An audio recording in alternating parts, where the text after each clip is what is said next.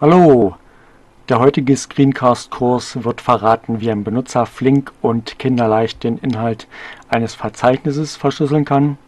Vor dem Verschlüsseln sind zwei einfache Tätigkeiten mit Administratorrechten notwendig. Zum einen, ich installiere das Paket fuse-encfs. Ich klicke auf Anwendung, Software hinzufügen, entfernen, gebe das Admin-Passwort ein. Okay suche nach dem Paket.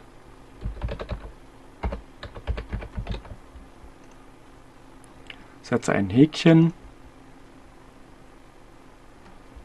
Klicke auf den Button Anwenden, weiter, so wird es heruntergeladen und installiert.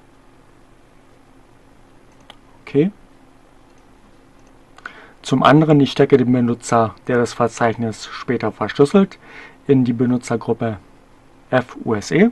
Ich klicke auf System, Administration, klicke auf Benutzer und Gruppen, gebe das Admin-Passwort ein, OK, markiere den Benutzer, klicke auf Eigenschaften, klicke auf den Reiter Gruppen. Und setze ein Häkchen bei der Gruppe FUSE. OK. Ist dies vollbracht, meldet sich der jeweilige Benutzer an bzw. meldet sich neu an und es kann losgehen. Ich klicke auf System, klicke auf Benutzer abmelden, auf den Button abmelden.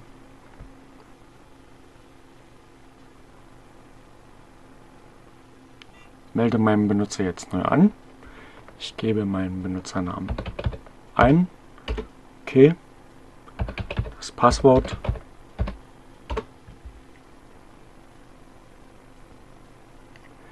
Ich öffne ein Terminal, klicke auf Anwendung, Systemwerkzeuge, klicke auf Terminal und ich gebe schlicht den Befehl enc fs Leerzeichen Tilde das Symbol für das Home-Verzeichnis Schrägstrich Encrypt Leerzeichen Tilde Schrägstrich Decrypt Enter ein. Beim ersten Mal werden beide Verzeichnisse wenn sie noch nicht existieren, neu erstellt. Im ersten Verzeichnis Encrypt liegen demnächst die verschlüsselten Dateien und das zweite Verzeichnis ist der Mountpunkt, wo ich mit den Dateien in der unverschlüsselten Form arbeiten kann. Ja, ich möchte das Verzeichnis erstellen. Ja. Nun wähle ich den Modus. Ich drücke hier mal die Enter-Taste und wähle den Standardmodus. Abschließend lege ich das sichere Passwort fest.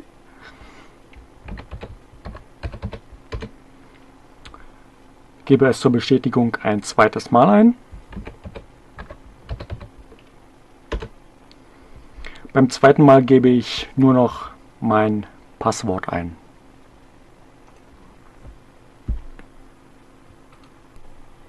In meinem Home-Verzeichnis gibt es jetzt zwei neue Verzeichnisse. Zum einen das Verzeichnis Decrypt und das Verzeichnis Encrypt. Als Beispiel kopiere ich eine Textdatei ins Verzeichnis Decrypt. Ich klicke hier mal die Datei text.txt an, klicke auf Bearbeiten, Kopieren, gehe ins Verzeichnis Decrypt, klicke auf Bearbeiten, Einfügen und prompt gibt es die Datei im Verzeichnis. Encrypt. Verschlüsselt. Ich öffne wieder ein Terminal, klicke auf Anwendung, Systemwerkzeuge, klicke auf Terminal. Mit dem Befehl fuser mount Leerzeichen minus u Leerzeichen tilde Schrägstrich. Decrypt Enter trenne ich die Verbindung zwischen Encrypt und Decrypt wieder. Das heißt Verzeichnis Decrypt ist leer. Es gibt keine unverschlüsselten Dateien mehr. Erklärungen zum Kommando encfs erscheinen nach der Eingabe man encfs Enter Das Drücken der Taste Q beendet die Hilfe. Das gleiche gilt für den Befehl encfsctl, mit dem ich zum Beispiel das Passwort ändern kann oder Infos anschauen kann. Zum Beispiel gebe ich jetzt mal ein encfsctl Leerzeichen Info Leerzeichen Tilde Schrägstrich Encrypt Enter Die Schlüsseldatei ist versteckt und heißt .encfs. 5 befindet sich im Verzeichnis Encrypt. Um die Datei sichtbar zu machen, klicke ich auf Ansicht verborgene Dateien anzeigen.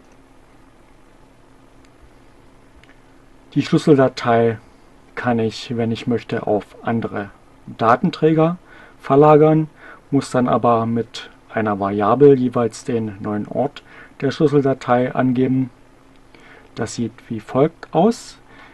Ich verlege die Schlüsseldatei jetzt mal als Beispiel nur schnell ins Home-Verzeichnis.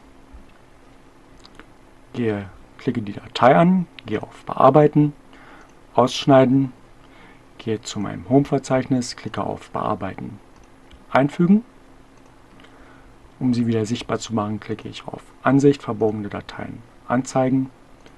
Hier ist die Datei. Und ich gebe jetzt ein.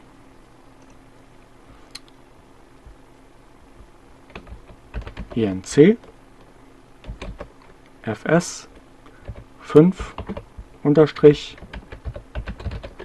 Config. Ist gleich. Tilde schrägstrich Punkt enc fs5. Das ist der neue Ort der Schlüsseldatei, das Home-Verzeichnis. Dann Leerzeichen und wieder mein Befehl enc fs Leerzeichen tilde Schrägstrich encrypt Leerzeichen tilde Schrägstrich decrypt Enter gebe mein Passwort ein und Verzeichnis decrypt zeigt wieder die Dateien in der unverschlüsselten Form an. Zu bedenken ist, dass manche Programme auch Sicherheitskopien von den unverschlüsselten Dateien, wenn man damit arbeitet, erstellt und später diese wieder löscht, aber womöglich nicht richtig löscht. Also genau darüber nachdenken, was man tut und wie man es tut und ob man nicht gleich das ganze Dateisystem verschlüsselt. Gut, das war's dann. Bye bye. Bis zum nächsten Screencast.